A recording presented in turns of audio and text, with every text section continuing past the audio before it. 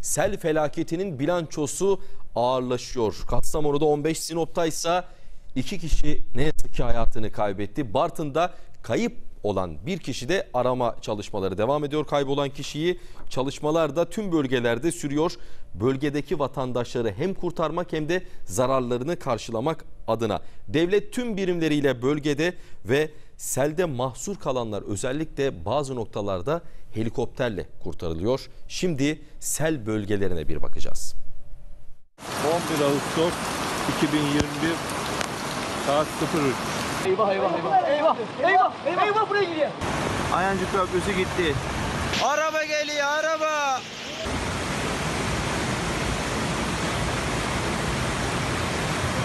Dereler taştı, caddeler nehre döndü. Evler yıkıldı, yollar ve köprüler hasar gördü. Araçlar sürüklendi. Acı haberi Cumhurbaşkanı Erdoğan duyurdu. Sel bölgelerinde can kaybı arttı. Kastamonu'da 15, Sinop'ta 2 kişi hayatını kaybetti. Erdoğan tüm kurum ve kuruluşlarla yoğun bir çalışma yürütüldüğünü belirtti. Sel felaketine 19 helikopter, 437 iş makinesi ve 4644 personelle müdahale edildiğini bildirdi.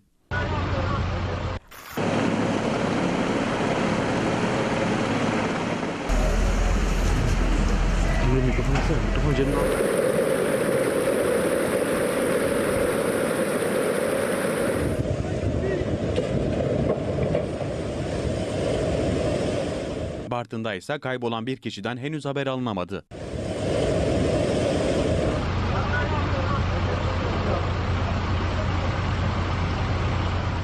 Devlet tüm birimleriyle seferber oldu. Mahsur kalanları kurtarmak için harekete geçildi.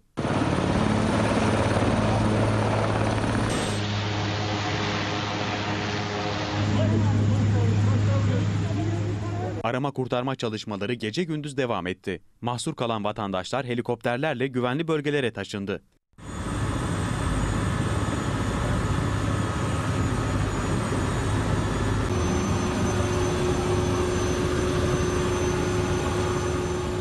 Sinop Ayancık'taki felaketin boyutları sular çekilince ortaya çıktı. Ayancık Devlet Hastanesi'ndeki hastaların tahliyesi askeri helikopterlerle yapıldı. Hastalar Sinop Devlet Hastanesi'ne nakledildi.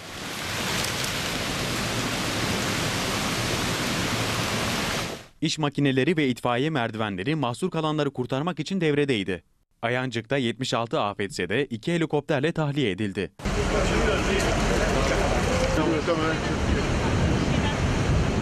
Bartın'ın Ulus ilçesi en büyük zararı gören yerlerden. Zaferköy Ağdacı mahallesinde 300 kişi güvenli bölgelere tahliye edildi. Abdipaşa beldesinde 15 kişi KYK yurduna yerleştirildi.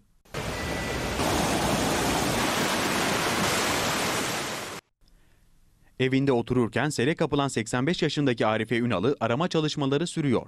Ekipler ve yakınları her yere bakıyor.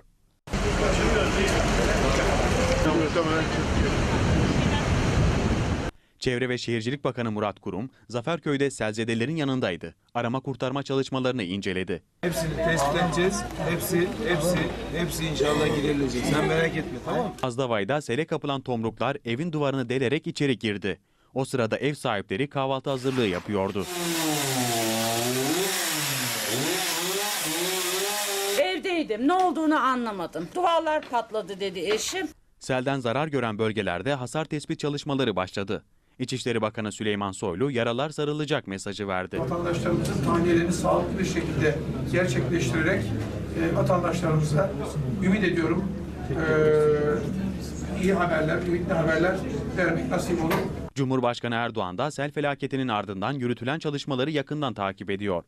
Erdoğan, afet bölgesindeki bakanlarla görüşerek tahliye çalışmaları ve gelişmeler hakkında bilgi aldı.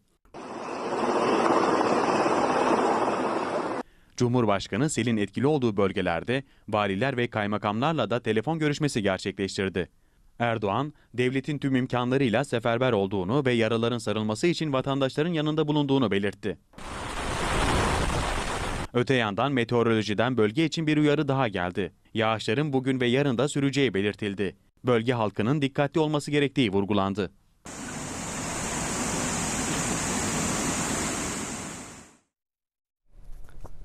Daha fazla video izlemek için kanalımıza abone olabilir, ilk izleyen olmak isterseniz bildirimleri açabilirsiniz.